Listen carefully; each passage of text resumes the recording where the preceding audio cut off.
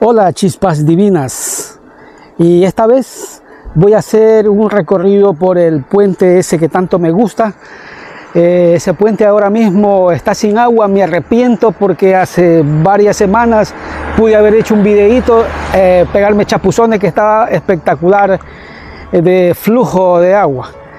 Pero en esta ocasión está seco, entonces se los voy a enseñar.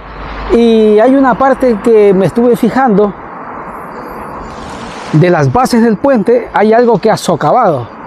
Y yo digo, con tanto que costó la remodelación de este puente y estando en Francia, donde supongo que la arquitectura o los ingenieros se la saben, no contaron con eso. Por lo tanto, pues les enseño las imágenes a ver qué opinan ustedes. Así es que vamos, chispas divinas, acompáñenme a curiosear el puente.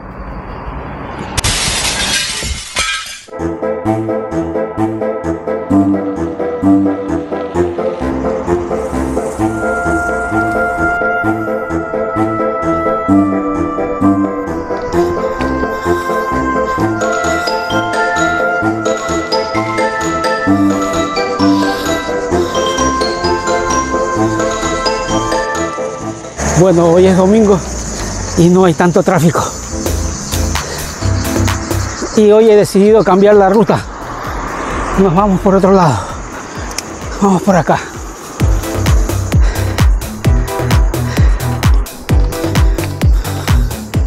Bueno, aquí me, me gusta subirme por las veredas.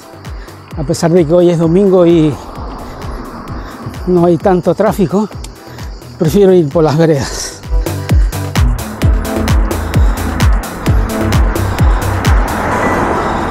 Les cuento que estoy retomando la bicicleta. Hace mucho tiempo que no la, no la he tomado. Ahora, ahora último estoy usando la bicicleta. En el tiempito que, que puedo. Bueno, faltan 5 minutos para las 2 de la tarde.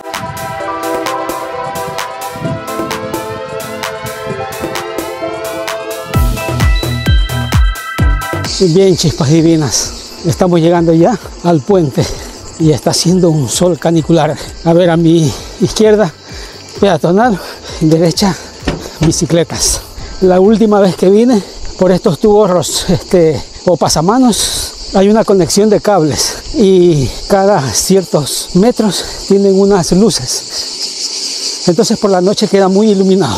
Bien, entonces siguiendo este puente conecta con la vía Venecia hasta allá y me parece que, bueno, con la cámara no logran ver las torres que están allá de Marcul. Entonces ahora damos la vuelta para no alejarnos del puente. Como hay un portón que está abierto, aprovechamos para, para no meternos por otros lados. Por lo general el portón este suele estar cerrado, pero tengo la idea de que han entrado estos jóvenes revoltosos y por ahí han estado haciendo travesuras. Digo yo travesuras, miren, al fondo lo han incendiado, le han metido fuego ahí, no estaba así.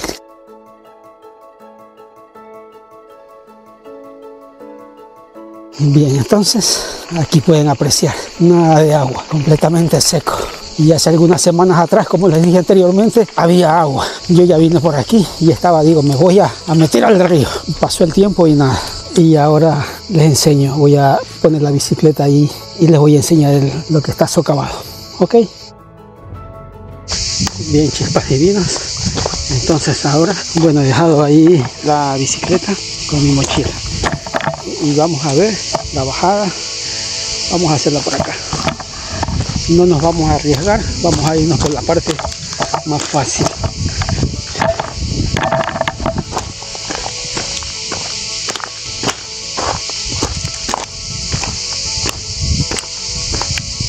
antes bloques ¿eh? piedras grandes.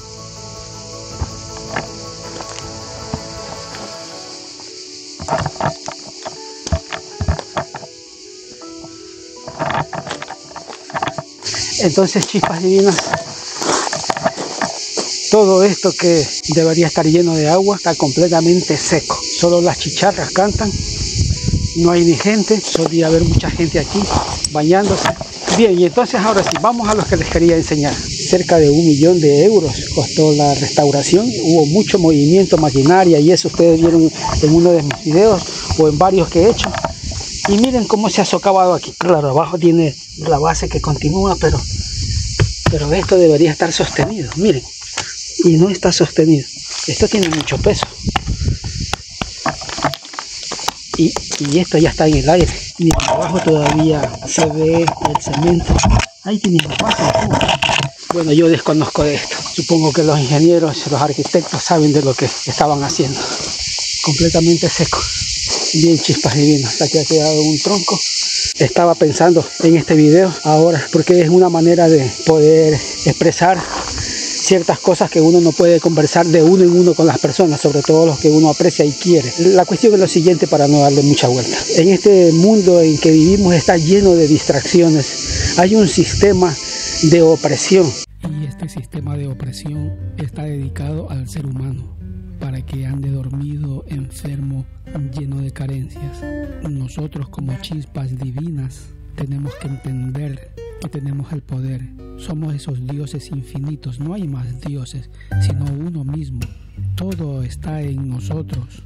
Sentirnos bien, cambiar de pensamientos, quitarnos esas rabias, rencores, odios. Eso es un trabajo interno de todos los días que aplicando todo esto empezamos a depurar nuestro espíritu, nuestras emociones.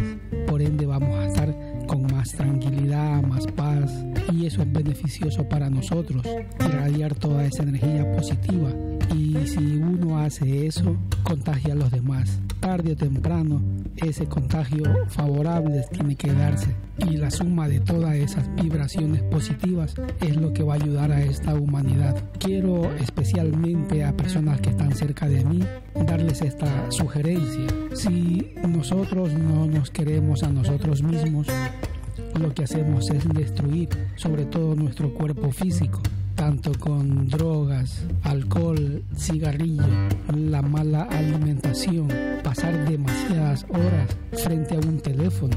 Esos son distractores nosotros lo que tenemos que hacer es buscar nuestra estabilidad, sanar emociones, como lo dije anteriormente. Ese es nuestro trabajo. Y ya que estamos en este planeta, pues eh, nos toca trabajar, nos toca hacer tantas cosas para poder sobrevivir. Y entonces, hagámoslo. Ya está, eh, hagámoslo con alegría. De esta manera, pues siempre estaremos un poco más tranquilos. Es difícil encontrar la felicidad, pero yo he estado haciendo ejercicios, cerrando mis ojos, haciendo respiración, imaginándome, sintiéndome feliz y me funciona y lo vengo haciendo ya por mucho tiempo. Pero este es un trabajo de todos los días. Y así en cada, de, cada situación que nos da la vida, el positivismo. Entonces, sacar esa fuerza interior que está ahí.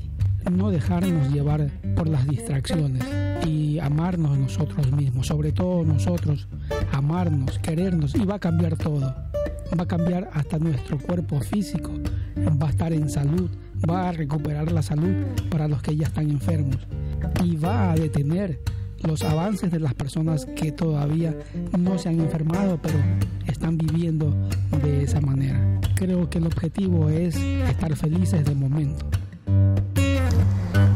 Y aparte, sobre todo lo principal, lo más importante, es el amor ese amor infinito.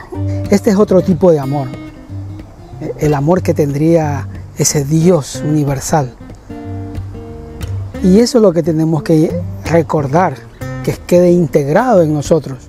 La base de todo es el amor. A partir de ahí podemos hacer el resto de cambios. Es un proceso largo, como diría yo, o lo digo con toda certeza, es un proceso para toda la vida.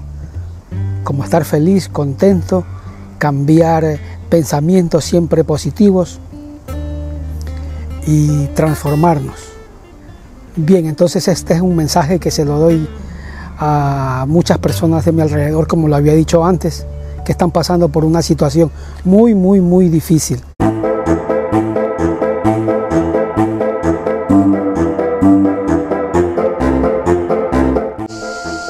Mi pajarita está muy bien, pero me es complicado hacer videos con ella. y no puedo hacer videos siempre con ella. Ya me gustaría hacer más seguido. De todas maneras, a comernos el mundo, ya que estamos aquí con alegría en esta vida. Un abrazo para todos ustedes, altas vibraciones. Ya hablaré de las vibraciones. Chau, chau, chau, chau.